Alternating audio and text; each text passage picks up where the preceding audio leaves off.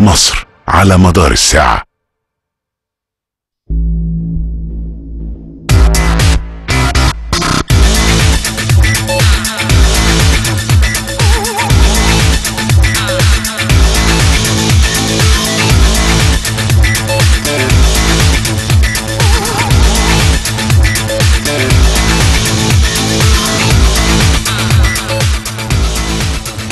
مساء الخير على كل مشاهدينا ومتابعينا. سي بي سي إكس في كل مكان وأهلا بحضراتكم معانا. وحلقة جديدة وجولة جديدة في أهم وأبرز الأخبار الرياضية سواء كانت على المستوى المحلي العربي الأفريقي أو العالمي. صفحة البرنامج زي ما تظهر أمام حضراتكم هي Extra Time لو ليكم أي تعليق ملحوظة حابين تشاركونا بارائكم أو لو حابين تجاوبونا على السؤال اليومي واللي بنطرحه دايما مع حضراتكم. وأكيد سؤال حلقتنا النهارده متعلق للأسف بالهزيمة الثقيلة اللي حدثت لنادي الزمالك أمام سان داونز في جنوب أفريقيا في ذهاب نهائي دوري الأبطال بثلاثية نظيفة. هزيمة غير متوقعة إطلاقا. كان في دعم جماهيري ومساندة جماهيرية كبيرة من قبل جماهير نادي الزمالك وأيضا الإعلام. الكل كان بيمني نفسه بتحقيق نتيجة إيجابية في جنوب أفريقيا. تسهل بعض الشيء لقاء العودة يوم 23 أكتوبر القادم. ولكن قدر الله ما شاء فعل نادي الزمالك اتهزم أو هو اللي هزم نفسه بنتيجة ثلاث أهداف مقابل لا شيء. هدفين في الشوط الأول وهدف في بداية الشوط الثاني وده, طبعا الهدف اللي هو قضى على أمان نادي الزمالك في العودة. وأصبح كل الأمال وكل الطموحات ساعتها إن نادي الزمالك يجيب حتى لو هدف واحد يساعده على قدر الإمكان في مباراة العودة يوم 23 على استاد وملعب برج العرب. سؤال حلقتنا النهارده وهتلاقوه موجود من خلال صفحتنا على الفيسبوك. وكابتن مؤمن سليمان بعد المباراة قال إن هو يتحمل المسؤولية كاملة عن هزيمة اليوم ولكن أنا حابب أعرف آراء حضراتكم الهزيمة أو أسباب الهزيمة أو من يتحمل أسباب الهزيمة. وده سؤال حلقتنا النهارده. من يتحمل مسؤولية الهزيمة الثقيلة للزمالك أمام سان داونز في ذهاب نهائي دوري الأبطال. عايز أعرف إجابات حضراتكم على هذا السؤال. وشايفين مين يتحمل الهزيمة؟ هل كابتن مؤمن سليمان بالفعل؟ هل اللاعبين كلهم؟ هل بعض الأسماء أو بعض اللاعبين هم من يتحملوا الهزيمة؟ عايز أعرف آراء حضراتكم من خلال صفحتنا على الفيسبوك. تعالوا نشوف أخبارنا المحلية النهارده فيها إيه ونبتدي طبعا بأول خبر وهزيمة نادي الزمالك بثلاثية وقدم بطل مصر عرض سيء للغاية خلال اللقاء واستحق معه الهزيمة. إذا ظهر لاعبوه بعيدين عن مستواهم تماما وتلاعب الفريق الجنوب إفريقي بالفارس الأبيض وسجل ثلاث أهداف وأهدر اهدافا أخرى. تقدم اللاعب الليبيري أنتوني لافور في الدقيقة 31 وبعدها بتسع دقائق أحرز تيبوجو لانجرمان الهدف الثاني من كرة للأسف خدعت أحمد الشناوي واللي كان بيلعبها كرة عرضية وأحمد الشناوي كان متقدم خطوة كده ولكن للأسف سقطت كده ورا أحمد الشناوي وسكنت الزاوية البعيدة ليتقدم سان داونز بهدفين مقابل هدف لغاية هنا وجماهير نادي الزمالك قلنا الحمد لله نادي كابتن مؤمن سليمان هيعمل تغييراته مع بداية الشوط الثاني وإذ ربما نادي الزمالك يحرز هدف يقلل بيه الفارق ويساعده في مباراة العودة. ولكن للأسف مع بداية الشوط الثاني لقينا التشكيلة نازلة هي هي نفس ال 11 لاعب كابتن مؤمن سليمان ما عملش أي تبديل وتفاجئنا بهدف في الدقيقة 46 مع بداية الشوط الثاني كرة عرضية كرة قوية يعني بعض الشيء ولكن إسلام جمال نزل على الأرض. وأدخل الكرة في مرماه ليعلن تقدم سان داونز بنتيجة ثلاث أهداف مقابل لا شيء وتنتهي المباراة بهذه النتيجة. وطبعا المهمه مش عايزين نقول إنها صعبة أو مستحيلة ولكن كل شيء ممكن. كابتن مؤمن سليمان صرح بعد المباراة إن سان داونز لاعب على نقاط عديدة جدا هناك في جنوب أفريقيا ولقاء العودة هيكون في كلام تاني خالص كلام آخر. هنشوف إن شاء الله نادي الزمالك هيعمل إيه. آه نادي الزمالك عملها قبل كده ونادي الوداد عملها في نادي الزمالك السنة دي وكان مغلوب أربعة وكان كسبان خمسة ولكن هدف ستانلي هو اللي صعد بنادي الزمالك للنهائي. فالموضوع مش صعب الموضوع محتاج 11 راجل في الملعب محتاج إدارة فنية وقيادة فنية جيدة. آه، تمركز اللاعبين بشكل صحيح والكلام ده اتكلمنا كتير فيه جدا سواء Extra Time أو برامج الرياضيه الأخرى إن تمركز اللاعبين دائما بيكون خطأ ولكن ده اللي حصل. إن شاء الله نادي الزمالك يتدارك ال- الموقف في لقاء العودة. خلوني نروح للناقد الرياضي والصحفي الأستاذ وائل عباس الناقد الرياضي بجريدة المصري اليوم. أستاذ وائل تحياتي ومساء الخير. تحياتي يا كابتن فايز وبرحب بحضرتك وبرحب بكل المشاهدين. أستاذ وائل يعني سريعا كده قول لي ال- ال- الأجواء العامة إيه في عندك في في جنوب أفريقيا؟ وهل في تصريحات آه، طلعت من كابتن مؤمن سليمان أو بعض اللاعبين؟ هو حالة حزن طبعا كبيرة جدا هنا يعني موجودة مع في جنوب أفريقيا. اللعيبة متأثرة جدا ال- الكابتن مؤمن الجهاز بالكامل آه، أعضاء البعثة الجماهير. حالة حزن كبيرة جدا. كانت مفاجأة بصراحة إن نادي الزمالك يظهر بال- بالأداء ده. و- و- وبالنتيجة دي خصوصا إن يعني إن كل الناس شافت ال- ال- المباراة. نادي الزمالك ما لعبش غير أول 25 دقيقة. في في الماتش بالكامل بعد ما. بعد ما عدى 25 دقيقة نادي الزمالك مش موجود. المشكلة كلها كمان إن يعني والن... والنتيجة آه، صفر صفر. كان في فرصة لأيمن حسني يوصل لغاية الستة يارده وبعد كده عملها بالعرض الكورة دي. لو كان أيمن آه، شاطها في الجون كانت غيرت من مجريات الماتش. ما كانش في آه، تماسك حتى ال- الأهداف. الأهداف دخلت بشكل غريب. يعني الهدف الأول من تسلل واضح الهدف الثاني كرة غريبة لو اتعملت أكتر من 100 مرة مش هتخش. الراجل بيعمل الكرة بالعرض تسقط في الجون. أستاذ وائل أنا عايز بس أكلمك على الهدف الأول يعني آه، الهدف الأول فيه زاوية كاميرا باينة إن هو مش تسلل. لا الهدف الأول الهدف الأول تسلل بنسبة 100% حضرتك شوف زاوية الكاميرا اللي هي آه ناحية ال- الكاميرا اللي هي ناحية يمين. الملعب اللي هي ناحية المقصورة الرئيسية. ال- الراجل الراجل رجله سابقة علي جبر. يعني حتى موجوده اتعمل خط. على على رجل علي جبر وهو موجود في خط الظهر الراجل لا رجله سابقة سابقه بخطوة بعد بعد بعد لحظة لعب الكورة. فيمكن هي عشان الكورة سريعة فما بانتش آه لكن حضرتك لو ال الهدف ووقفت ال- آه، الصورة هيبان إن هي فيها تسلل. آه يعني إن شاء الله الناس كلها هنا بتتكلم إن إحنا لسه عندنا أمل. بيستعيدوا ذكريات مباراة آه، النجم الساحلي في الكونفدرالية السنة اللي فاتت إن ما كانش حد متوقع إن الزمالك يؤدي الأداء ده وهو ب 10 تمام. لاعبين من من الدقيقة أربعة يجيب ثلاث اجوان وكان قادر طيب. على إن هو يجيب الرابع ويصعد هم شايفين المهمة صعبة لكن مش مستحيلة. طب أستاذ وائل عايز أعرف تعليقك إيه؟ أكيد آه، بدر وسمع ل- أو وصل كلام لأحمد الشناوي إن هنا ابتدى يتكتب إن ال- ال- التبديل أو الإصابة لأحمد الشناوي اللي جات له هي إصابة نفسية في المقام الأول ومكررة خلال الفترات السابقة. هو ال- الكلام ده طبعا وصل للبعثه هنا. وكابتن آه، أيمن زين نفى الموضوع وقال إن الشناوي عنده شد في العضلة الأمامية مم. هو ما يعني الإصابة مش خطيرة لكن هو فعلا مصاب وعنده شد في العضلة الأمامية وهو ما حبش إن هو يخاطر لأن ال- ال- الموضوع مش مش هيبقى محتاج إن هو آه، يحاول إن هو يعني آه، زي كده بالبلدي إن هو يبقى بطل ويكمل المباراة ويتحمل على نفسه في, في الإصابة هيجي على حساب نادي الزمالك خصوصا إن كانت ال- ال- النتيجة بقت 3-0 مم.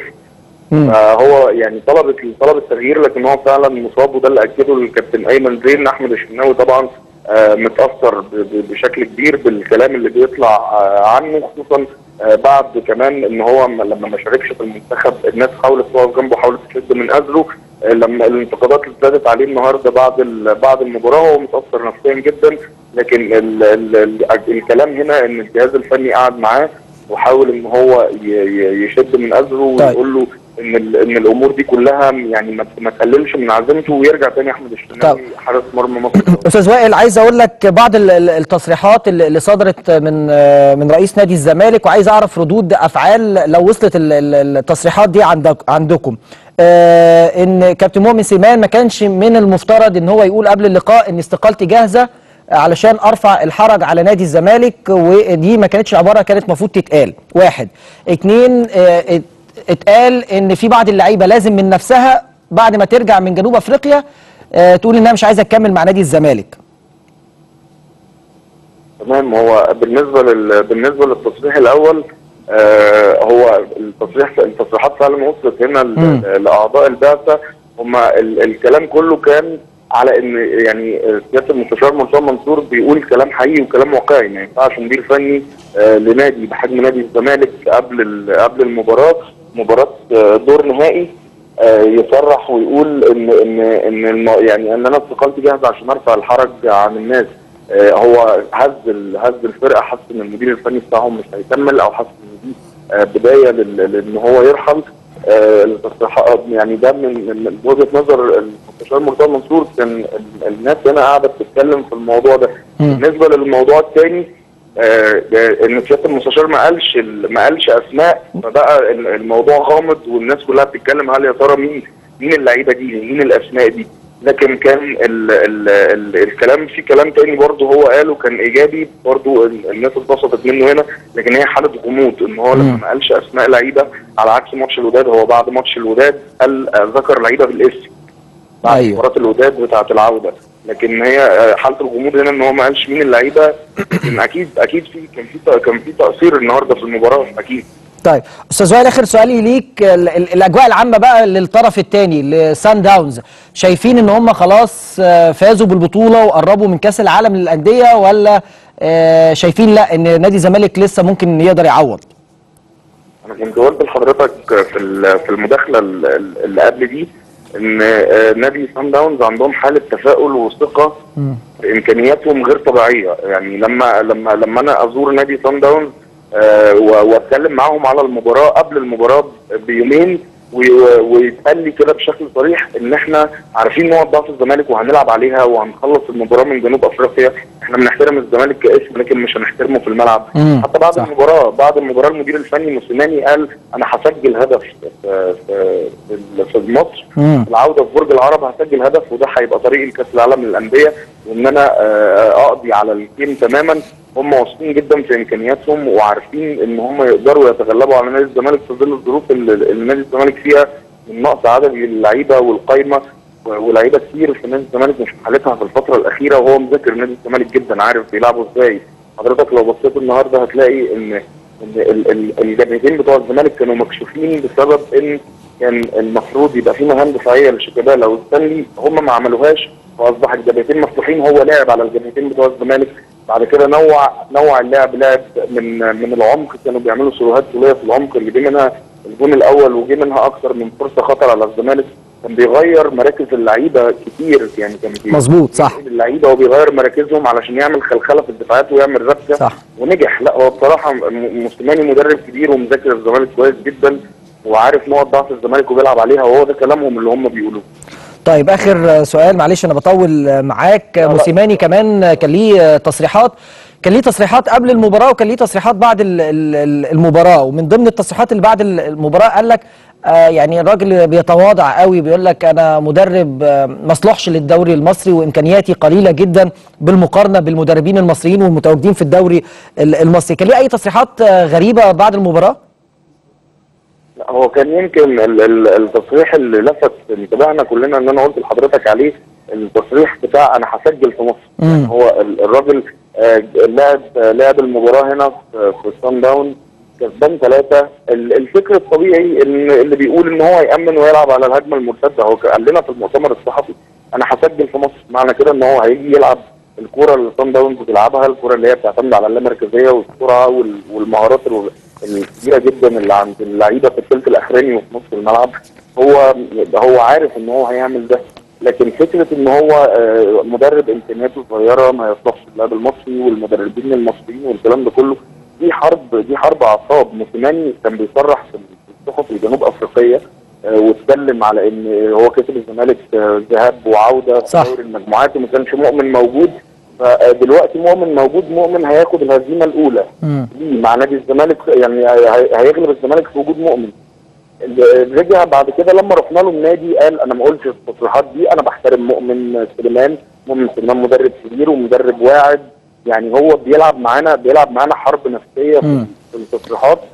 والكلام ده كله طيب. بيحصل وأعتقد إن الناس مركزة فعلا مع تصريحاته وهو بيعرف يلعبنا هو طب أستاذ وائل عايز أسألك على تصريحات كابتن مؤمن بقى سليمان بعد ال- ال- المباراة وعرفت إن هو آه، توعد بقى فريق سان داونز وقال لك هم الناس جابونا ولعبونا الظهرية والساعة 3 الظهر والكلام ده كله قال لك بس هنرد في برج العرب هو الكابتن مؤمن يعني في بداية كلامه طبعا ودي كعاده الكابتن مؤمن قال إن هو بيتحمل المسؤولية ما بيحملش حد من لعيبة المسؤولية آه لو آه قال قال كمان قال حاجة آه غريبة جدا آه يعني كان بالنسبة لي وبالنسبة للناس الموجودين وهو بيتكلم آه باللغة الإنجليزية لصحفيين جنوب أفريقيا. قال أنا خسرت أنا خسرت السيطرة على لعيبتي بعد 15 20 دقيقة من اللقاء ولما جه يتكلم معانا بالعربي ما قالش ما قالش الجزئيه دي فدي كانت مفاجأة بالنسبة لنا إن المدير الفني بيعترف إن هو بيتحمل المسؤولية وإن هو خسر السيطرة على لعيبته بعد 15 20 دقيقة من بداية اللقاء. طبعا هو قال ان ان إن هم ورونا يوم صعب وإحنا هنوريهم يوم أصعب. في برج العرب وإن إحنا قادرين. المهمة صعبة لكن مش مستحيلة وإن إحنا لو عايزين نكسب هن- هنشتغل أقصى حاجة الأسبوع ده علشان نكسب. حتى أنا سالته في المؤتمر الصحفي قلت له كابتن مؤمن حضرتك كنت بتفكر في إيه وأنت بتحط التشكيل ده صح. التشكيل ده تشكيل هجومي. دي مش مباراه دي مش مباراة التتويج. يعني إن حضرتك جاي هنا آه، يا تخسر يا تكسب عشان تعمل risk زي ده في النهائي. أنت عندك لسه game تاني في القاهرة. هل كنت بتفكر إن آه، إن أنت تهاجم الفرقة دي زي ما هي هجومها قوي إن أنت تهاجمها عشان تقلل الضغط؟ وحضرتك هتقدر تجاري سرعة لعيبه سان داونز واللامركزية بتاعتهم والمهارات العالية بتاعتهم إزاي؟ في ظل البطء الشديد اللي عند نادي الزمالك في نص الملعب وفي الدفاع. قال لي أنا ما كنتش. بهاجم. آه، أنا عامل توازن. أنا بدافع بست لعيبة وب- وبهاجم بأربع لعيبة. أربعة فأنا قلت له آه فأنا قلت له إن حضرتك ال- الأربع لعيبة المفروض فيهم اللي بيهاجموا المفروض فيهم الاثنين يبقى معاهم عندهم واجبات دفاعية لما الزمالك بيفقد الكورة وهو ما عملهاش. آه، الجزء الثاني من السؤال بتاع هيجاري لعيبة صن داونز إزاي؟ قال لي لو عايزين نكسب. يعني برضه هي إجابة إجابة دبلوماسية. ما ما ما, ما جاوبش على ال ال يعني ما قالش هيعمل إيه. هو قال لي لو عايزين نكسب لازم نبقى أحسن منهم. وأقوى منهم وأسرع منهم. وأعتقد إن ده. كلام دبلوماسي على أرض الواقع مش موجود. نتمنى نتمنى كل الخير طبعا وكل التوفيق لنادي الزمالك. لسه قدامهم 8 أيام. إن شاء الله هيعودوا آه، فجر يوم الاثنين. يعودوا بالسلامة إن شاء الله لأرض الوطن. وبعد كده على ما أعتقد هيخشوا في معسكر داخلي استعدادا للقاء الهام. ومحاولة التعويض على الأقل. نادي الزمالك محتاج أربع أهداف وما يخشش مرماه أي هدف. أشكرك شكرا جزيلا. الناقد الرياضي الأستاذ وائل عباس الناقد الرياضي بجريدة المصري اليوم. شكرا جزيلا على مداخلتك معانا من جنوب أفريقيا. خلونا نقول لحضراتكم بعض ال- التعليقات من كلا ال- الطرفين عقب انتهاء اللقاء. كابتن مؤمن سليمان بيقول مدرب سان داونز هزمنا لأنه أصر على إقامة اللقاء في العصر والرد سيكون في برج العرب. دي كانت تصريحات كابتن مؤمن سليمان. وتوعد كابتن مؤمن سليمان المدير الفني آه، نادي الزمالك آه، آه، فريق سان داونز الجنوب أفريقي بمباراة مختلفة في إياب نهائي دوري الأبطال. مشيرا إلى ما حدث في مباراة الذهاب أمر غير متوقع. معلنا تحمله المسؤولية كاملة. وسوف يستقبل ملعب برج العرب بمدينة الأسكندرية مباراة الإياب يوم 23 من الشهر الحالي. وأشار كابتن مؤمن في تصريحات بعد المباراة أثق في جميع اللاعبين رغم الخسارة الثقيلة من سان داونز. اللاعبون لا يتحملون المسؤولية وحدهم. الجميع يتحمل المسؤولية. وأضاف في تصريحاته بالمؤتمر الصحفي الخسارة من سان داونز بثلاثة بثلاثية نظيفة أمر غير متوقع. لكن في كرة القدم كل النتائج واردة. خضنا آه، بداية مباراة جيدة. وكما أكدت من قبل أتحمل المسؤولية كاملة وعن مدرب سان داونز اللي هو موسيماني. آه، تحدث مؤمن سليمان وقال إن هو رجل ذكي جدا لسبب غير فني اختار موعد المباراة في تمام الساعة الثالثة عصرا لأنه يعلم أننا نلعب جميع المباريات في ال- المساء ودي كانت تصريحات كابتن مؤمن سليمان. وعلى فكرة امبارح كان ليه برضه تصريحات كانت غريبة بعض الشيء وممكن تكون دي بعض التصريحات ادت ثقة زيادة لبعض لاعبي النادي الزمالك شيكابالا اتكلم عن شيكابالا وقال عليه إنه أسطورة اتكلم على أحمد الشناوي أحمد توفيق. يعني الراجل عايز أقول بال بال بالبلدي كده إن هو نفخ اللعيبة زيادة عن اللزوم وكبر اللعيبة بشكل جامد جدا واداها أكبر من حقها. فربما ربما التصريحات دي إدت ثقة زيادة شوية للاعبي نادي الزمالك وعشان كده ظهروا بهذا المستوى. نروح بقى لتصريحات موسيماني المدير الفني لفريق سان داونز الجنوب أفريقيا. وعايز أقول لحضراتكم موسيماني بالنسبة لجنوب أفريقيا هو آه، آه، رحمة الله عليه كابتن جوهري.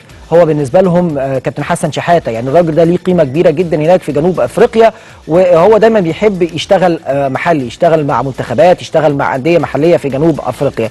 تم طرح سؤال عليه لو لو في فرصة إن هو يجي يمرن في الدوري المصري لكرة القدم. الراجل تواضع للغاية وقال كلام يعني آه، متواضع جدا إنه آه، إمكانياته أقل من الدوري المصري وقال إن هو يتمنى ضم شيكابالا ومحمد إبراهيم لفرقته. ويرى بيتسو موسيماني المدير الفني لسان داونز إن إمكانياته التدريبية بتعد قليلة بالنظر للمدربين في مصر وبالتالي يجد صعوبة في أن يقود أحد أندية الدوري المصري وأشار المدرب في تصريحات بعد المباراة.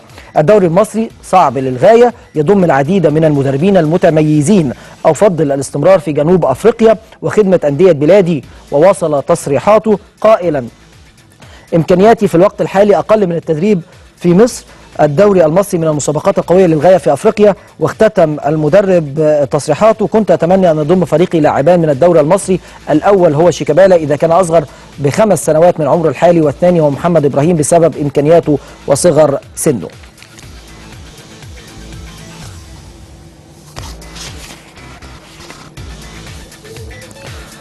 دي كانت أهم وأبرز أخبارنا. عايز أقول لحضراتكم برضو خبر تريزيجيه كان بيلعب مباراة في الدوري البلجيكي أمام جينك البلجيكي وكانت حتى هذه اللحظة المباراة تعادل 2-2 وتريزيجيه أحرز هدف أكتر من رائع هدف ماراثوني من نص الملعب عدى من خمس لعيبة وحط الكرة ببطن القدم في الزاوية اليسرى لحارس المرمى. هدف رائع جدا جدا والهدف معانا واشكر طبعا فريق الإعداد والإخراج معانا أهو تريزيجيه بيعدي من قبل نص الملعب وبيحط الكرة بشكل جميل جدا جدا. ما قلت لحضراتكم موسكرون مع تريزيجيه آه، حقق آه، انتصارين ودلوقتي تعادل مع جينك أحد أقوى الفرق البلجيكية. كل التوفيق طبعا لتريزيجيه لاعبنا ولاعب منتخب مصر.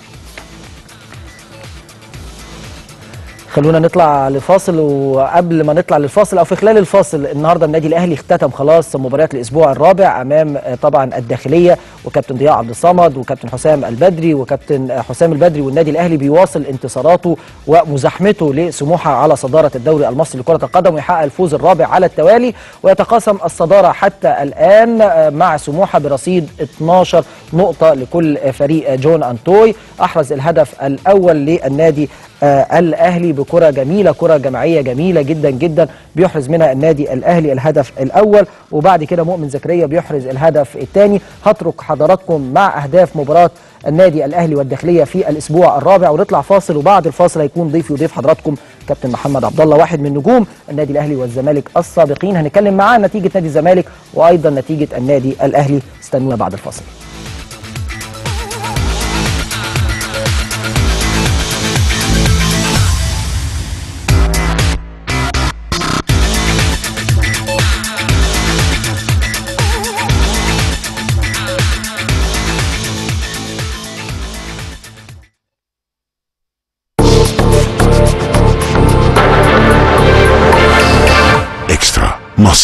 على مدار الساعة.